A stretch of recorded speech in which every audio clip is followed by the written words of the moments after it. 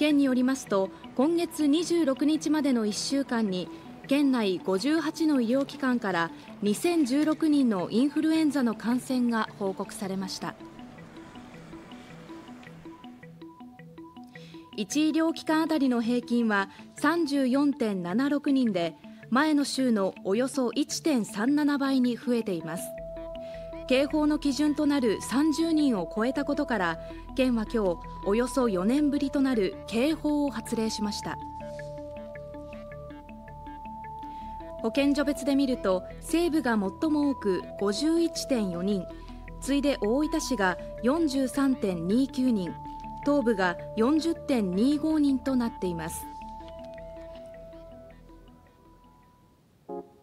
一方、新型コロナについては1医療機関あたり1.67人の感染が報告され前の週の1.44倍になりました。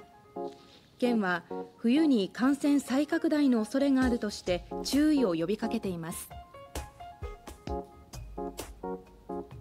また咽頭結膜熱いわゆるプール熱は県内36の医療機関から平均して3.22人の感染が報告され引き続き警報が出されています。県はいずれの感染症についても日頃から手洗いや部屋の換気など感染しないさせない対策を心がけてほしいと呼びかけています。